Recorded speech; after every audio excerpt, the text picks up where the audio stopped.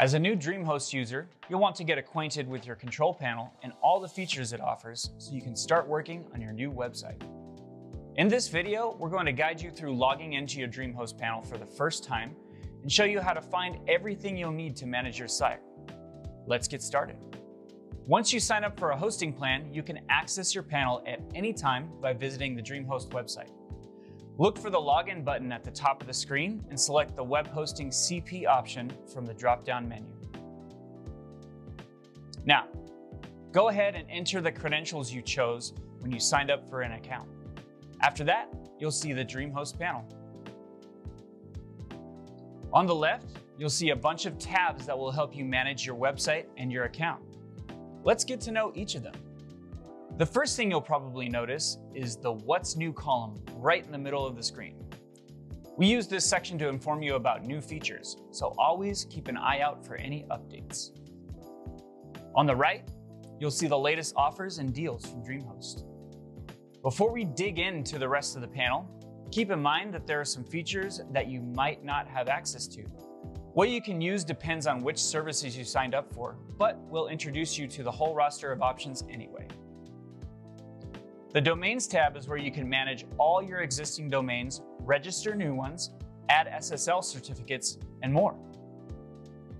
You can also use this tab to transfer external domains over to DreamHost. Use the WordPress tab to set up new installations on any of your existing domains. This tab also includes other CMS options that come with their own one-click installers. If you're a DreamPress user, you can also access your managed WordPress installations from this tab with a single click.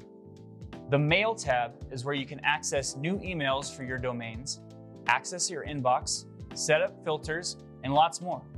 If you're into email marketing, this is where you'll find our autoresponder and announcement list tools as well. In the Users tab, you can manage and set privileges for all your accounts with FTP and SFTP access to your websites. If you don't have a dedicated SFTP client, you can use WebFTP to edit your files with a single click.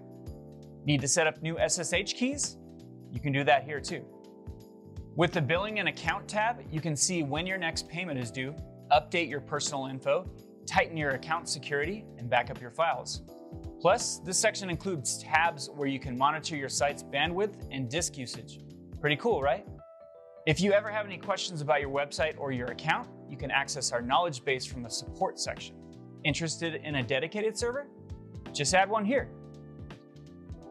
Our Remixer page builder can help you create a website from the ground up if you decide not to use CMS. Even if you already know how to build websites, Remixer can be a great option if you need to speed up the process. Curious about Dream Objects or Dream Compute? Here's where you can sign up and manage everything related to our cloud services. We hope you've enjoyed getting acquainted with your DreamHost panel. Are you ready to start working on your own website?